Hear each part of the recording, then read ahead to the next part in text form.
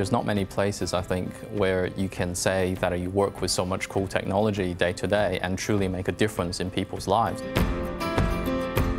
I do all the cool stuff. I look at things like the latest in robots and AI and I go, well, how can I help our people in their day-to-day -day work?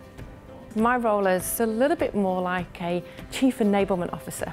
If we don't have innovation and if we don't introduce anything new, well, we're not going to grow as an organisation and we're not going to achieve all our strategic goals that we set out to do. Cybersecurity risk is any risk really that poses a threat to the organisation We've got artificial intelligence, machine learning now we're trying to deal with. Cybersecurity is here to stay. My journey to becoming a drone pilot, I started out my apprenticeship as a power line worker at Holden Hill and from there I saw the drones used in the field and that's when I put my hand up for the course. Mixed reality is the blending of virtual environments and reality. Is somebody who creates uh, simulations, experiences, uh, but any kind of thing that really blends reality and a virtual reality.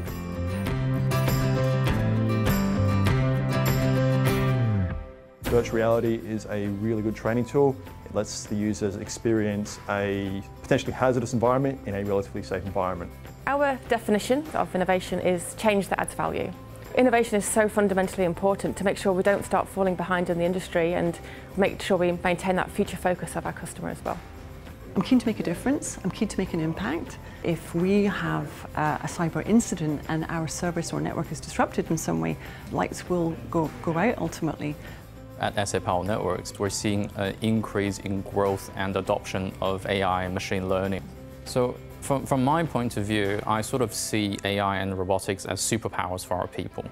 Right? So these are things that can do more with less uh, sort of mental energy or attention required from people.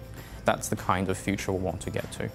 We now have a drone pilot in almost every depot in SA and we use the drone to fly along the power lines at a comfortable distance and take photos of any faults that we might find. To put some numbers in, we um, inspect about 100,000 poles a year and for each one we have to take about three pictures. This is where AI comes in in a big way to help us digest this tsunami of, of data. As a power line worker, it's been great to have the opportunity to now use drones. You always have a curiosity for new heights and different scenery. Very exciting. If you want to be a drone pilot, there's definitely a growing field of opportunity. Go out, have a go, put your hand up for it.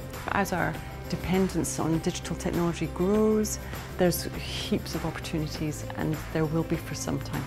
It's very creative, it's very challenging. If you can think it, you can do it whether it's cybersecurity, ethics, just the speed of the emerging technology that it changes, that's what we're here to help navigate.